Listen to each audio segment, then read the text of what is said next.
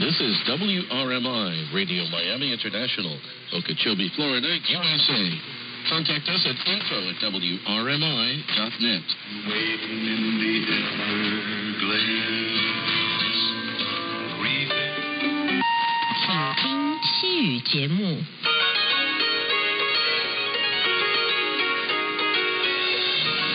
Escuchan Radio Taiwán Internacional. Desde Taipei, Taiwán, República de China, Iker Izquierdo para Radio Taiwán Internacional. A continuación, el informativo correspondiente al viernes 19 de agosto del año 2022.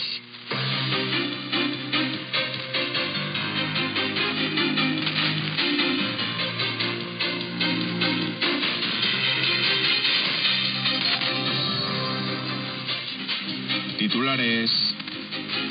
Taiwán coopera con Tailandia y el FBI en el rescate de taiwaneses abducidos en Camboya.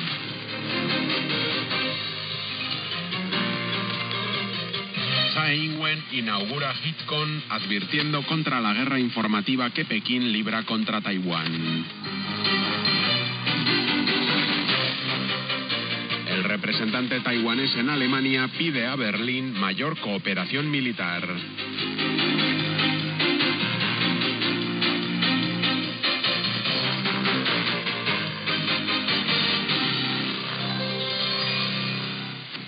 El comisario jefe de la policía taiwanesa, Juan Mingzhao, ha asegurado hoy que Taiwán está cooperando con el FBI y la Policía Real de Tailandia para frenar el tráfico de personas en Camboya y rescatar a las víctimas taiwanesas que han caído en estas redes.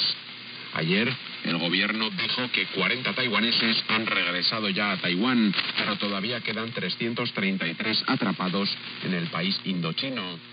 Se cree que unos 4.679 taiwaneses están en Camboya, pero la revisión para determinar el número de víctimas de las redes de fraude continúa.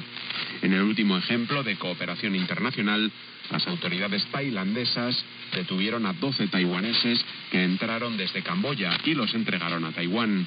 Tras la pertinente investigación, ocho de estas personas resultaron ser víctimas de tráfico de personas, mientras que las otras cuatro son sospechosas de pertenecer a la organización criminal.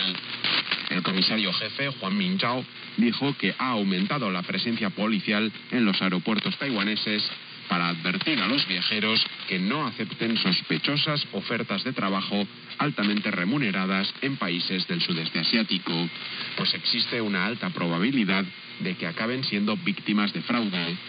El esfuerzo ha dado como resultado la interceptación de 28 personas antes de que subieran al avión.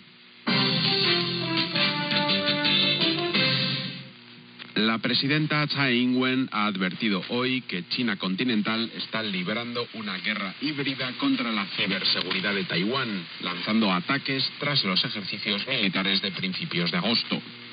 Tsai inauguró hoy HitCon, un congreso anual de hackers en Taiwán celebrado en la capital y cuyo objetivo es ayudar a las empresas e individuos a adquirir habilidades de supervivencia en el mundo virtual, donde la ciberguerra y los ciberataques se han convertido en algo muy común. La presidenta dijo que espera que todos los